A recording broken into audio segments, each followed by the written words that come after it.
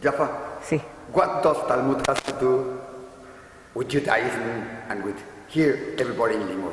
Oh, ah, such a great question. So, so p- many people hear about the Talmud and they think, oh, it's too hard, it's too complicated, I don't know what that's about. It was written 2,000 years ago by a bunch of men who lived in Babylonia. What does it have to do with my life? And I think it's such a good and important question. And what people I think don't realize is that everything that we do in Judaism, everything that we do, is based on the rabbinic perspective. There are sources in the Bible, but so much of our practice and our custom comes from the Talmud. So the more that we can learn about it, the more that we can understand what's happening there, the more that people will feel connected, I think, to what Judaism is today.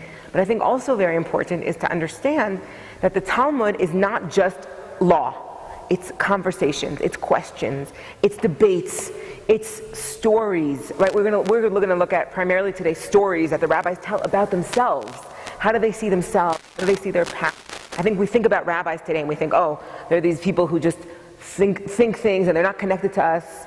And slower. No, no, it's all right, it's all right. Okay. Let's look at it. Okay.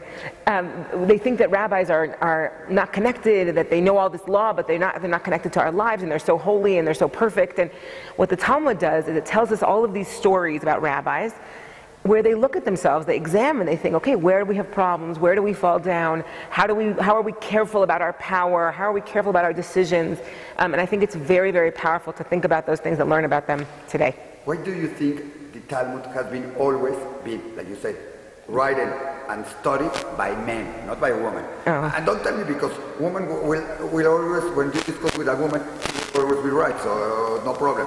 But why do you think it's always has been Yeah. studied by men, not by women? Yeah. So, you know, I have to say, you have to put the Talmud into historical context of the whole world. Really, we have to ask why has the whole world only let men learn for thousands of years, right? Really, only in the last hundred years, women started going to university, 100, 150 years, right? So it's really not about the Talmud or about Judaism.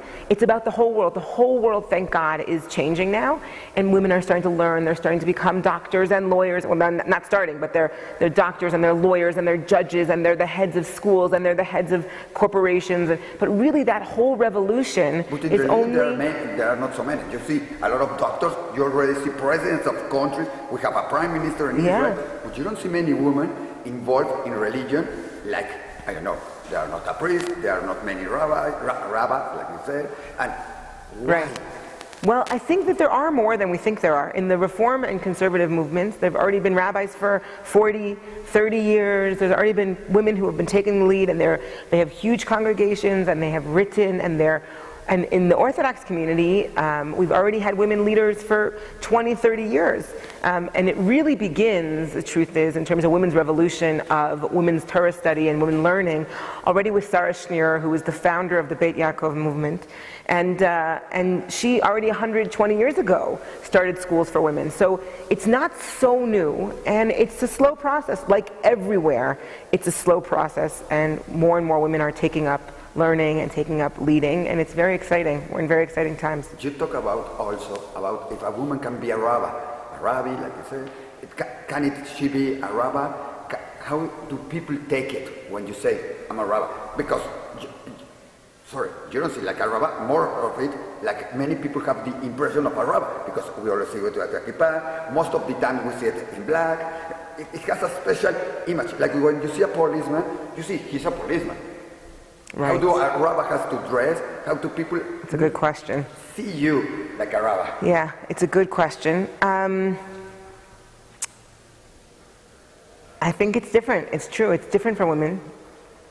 And uh, I think in general, the image of what a rabbi looks like is starting to break down in general in the world. But uh, yeah, it's different. It's something new. We're going to have to see. We're in a new time. It's very exciting. Some people have problems with it, and that's totally legitimate. And some people think it's wonderful. The greatest thing I've seen, for me, the greatest place where I think it's making a difference is young Orthodox girls. 16 year olds, 17 year olds, I meet them and they're so excited to know that there is a place for them.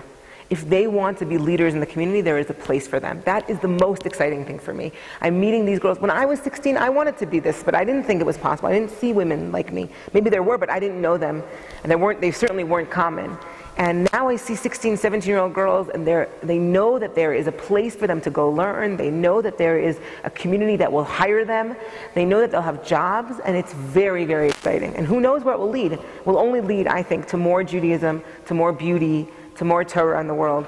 And how do you feel when you go to a place and they are going to make a minyan and they say, all right, we need 10 men. Here are 10 men and say, ah, I'm a rabbi. we need 10 men. Yeah. It happens a lot of times. Sure, it happens. What's it happens. What, what is in your mind when you see that and you say, but I'm a rabbi. I'm sure in your congregation, when you think we need 10, 10 we need 10 people to make a minyan. How do you see it when it's happened in other places?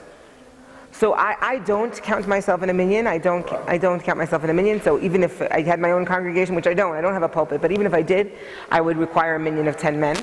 Um, it's a great question. That's strange. You're a rabbi, you study Yeah. Torah, you Yeah. but you don't count yourself like a Right? Because right now, the halacha, the way the halacha understands, women don't count, the way that, sorry, I should say this more carefully.